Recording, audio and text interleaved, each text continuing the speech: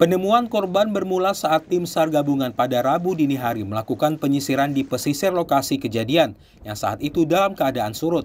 Tim SAR gabungan yang dibantu masyarakat menemukan tubuh korban yang sebelumnya hanyut dan tenggelam saat menarik ponton miliknya di perairan Rebo tidak jauh dari lokasi kejadian. Korban yang bernama Munsir, 52 tahun warga Dusun Tanjung Ratu Desa Rebo tersebut, satu hari sebelumnya berangkat dari rumah menuju pantai Batu Amper untuk memindahkan ponton tambang inkonvensional miliknya dengan cara didorong. Kondisi perairan pada saat tersebut dalam keadaan surut, sehingga korban harus menunggu hingga air pasang untuk mulai memindahkan air ponton miliknya.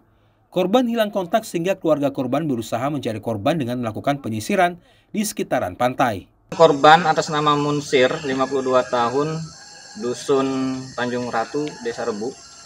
Korban ditemukan pada pukul 4 lewat 10 menit di dekat dengan ponton TI bersangkutan.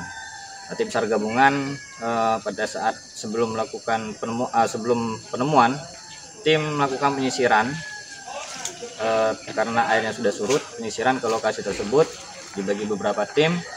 Ternyata Eh, korban ditemukan oleh eh, rekan lalu melaporkan ke kita lalu proses pelaksanaan eh, evakuasi Atas ditemukannya korban, tim SAR gabungan pun segera mengevakuasi korban menuju rumah duka di Dusun Tanjung Ratu, Desa Rebo. Masyarakat yang beraktivitas di perairan dihimbau untuk senantiasa memperhatikan keselamatan terutama menggunakan alat pelindung diri seperti life jacket dan lainnya. Dari Kabupaten Bangka, Firmansyah, TVRI Bangka Belitung melaporkan.